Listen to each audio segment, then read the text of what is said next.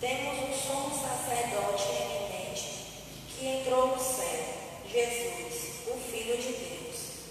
Por isso permaneçamos firmes na fé que professamos. Com efeito, temos um sumo sacerdote capaz de se compadecer de nossas fraquezas, pois ele mesmo foi provado em tudo como nós, com exceção do pecado.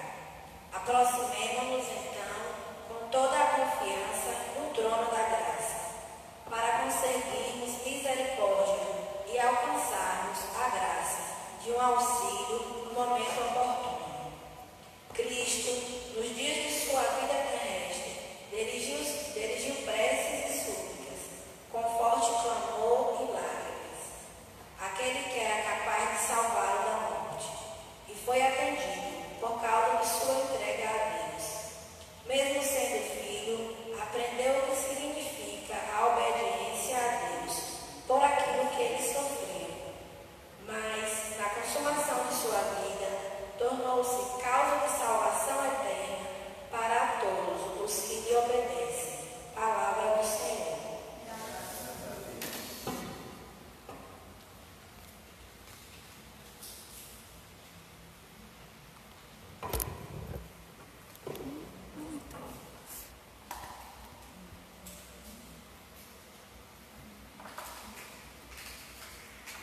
Paixão de nosso Senhor Jesus Cristo, segundo João. Naquele tempo, Jesus saiu com os discípulos para o outro lado da corrente do Cedron. Havia aí um jardim, onde ele entrou com os discípulos. Também Judas, o traidor, conhecia o lugar, porque Jesus costumava reunir-se ali com seus discípulos. Judas levou consigo um destacamento guardas dos sumos sacerdotes e fariseus e chegou ali com lanternas, tochas e armas. Então, Jesus, consciente de tudo o que ia acontecer, saiu ao encontro dele e disse: A quem procurais? Responderam: A Jesus o Nazareno. Ele disse: Sou eu. Judas, o traidor, estava junto com eles. Quando Jesus disse: Sou eu, eles recuaram e caíram por terra. De novo lhes perguntou. A quem procurais? Eles responderam: A Jesus Nazareno. Jesus respondeu: Já vos disse que sou eu. E se é a mim que procurais, então deixais que estes se retirem. Assim se realizava a palavra que Jesus tinha dito: Não perdi nenhum daqueles que me confiaste. Simão Pedro, que trazia uma espada consigo, puxou dela e feriu o servo do sumo sacerdote, cortando-lhe a orelha direita. O nome do servo era Malco. Então Jesus disse a Pedro: Guarda a tua espada na bainha. Não vou beber o cálice que o Pai me deu. Então os soldados, o comandante e os guardas dos judeus prenderam Jesus e o amarraram. Conduziram-no primeiro a Anás, que era o sogro de Caifás. Foi Caifás que deu aos judeus o conselho. É preferível que um só morra pelo povo. Simão Pedro e um outro discípulo seguiam Jesus. Esse discípulo era conhecido do sumo sacerdote e entrou, Jesus, e entrou com Jesus no pátio do sumo sacerdote. Pedro ficou fora, perto da porta. Então, outro discípulo que era conhecido do sumo sacerdote saiu, conversou com a encarregada da porta e levou Pedro para dentro. A criada que guardava a porta disse a Pedro: Não pertence, não pertence também tu aos discípulos desse homem? Ele respondeu: Não. Os empregados e os guardas fizeram uma fogueira e, se, e estavam se aquecendo, pois fazia frio. Pedro ficou com eles, aquecendo-se. Entretanto, o sumo sacerdote interrogou Jesus a respeito de seus discípulos de seu ensinamento. Jesus lhe respondeu: Eu falei as claras ao mundo. ensinei sempre na sinagoga do templo, onde todos os judeus se reuniam. Nada falei às escondidas. Por que me interrogas? Pergunta aos que ouviram o que falei, eles sabem o que eu disse. Quando Jesus falou isso, um dos guardas que ali estava deu-lhe uma bofetada, dizendo: É assim que sacerdote? Respondeu-lhe Jesus: Se responde mal, mostra-me em quê. Mas se falei bem, por que me bates? Então Anás enviou Jesus amarrado para Caifás, o sumo sacerdote.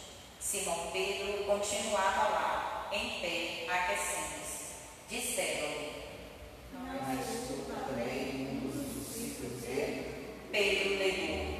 Não. Então, um dos empregados parente daquele a quem Pedro tinha cortado a orelha, disse: Será que não tive diante com ele? Novamente,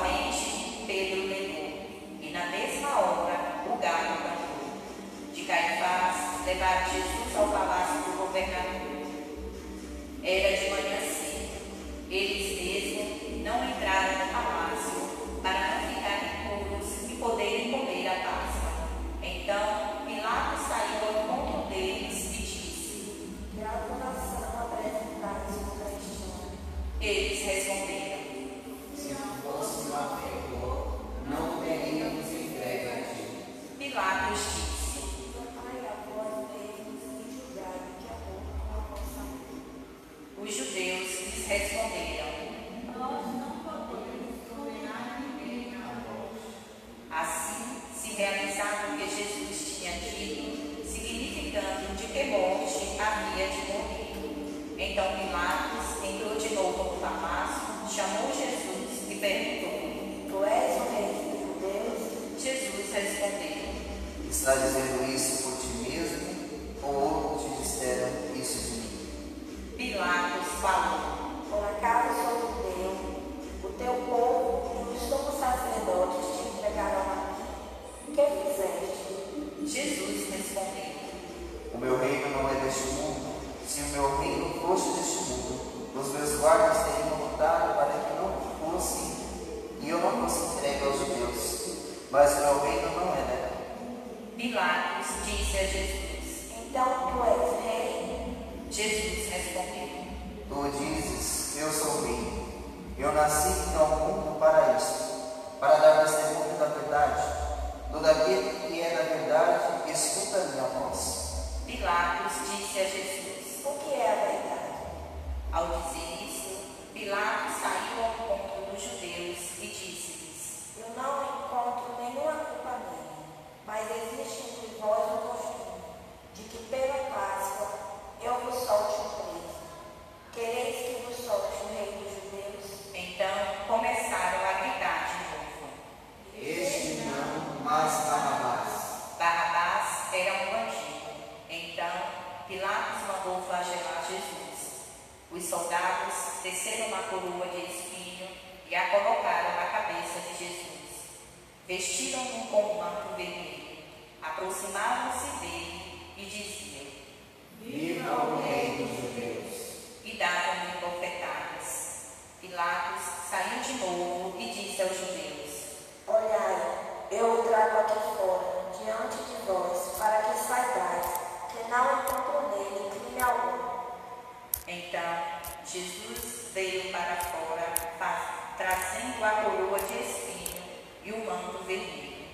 Pilatos disse: Eis, eis o homem.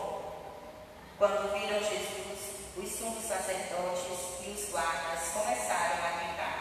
Crucifica-o, Crucificam. Pilatos respondeu: Levai vós mesmos para o crucificar, pois eu não vos encontro nele crime algum. Os judeus responderam: Nós Nós temos uma lei,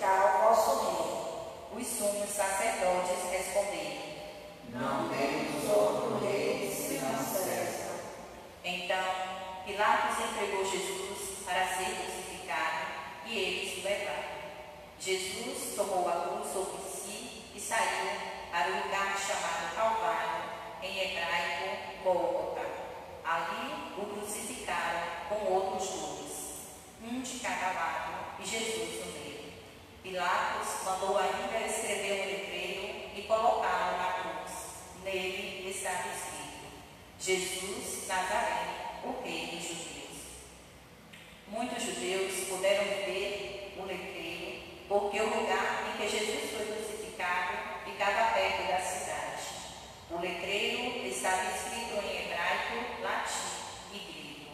Então, os sumos sacerdotes dos judeus disseram a Pilatos: Não escrevas o rei dos judeus, mas sim o que ele disse.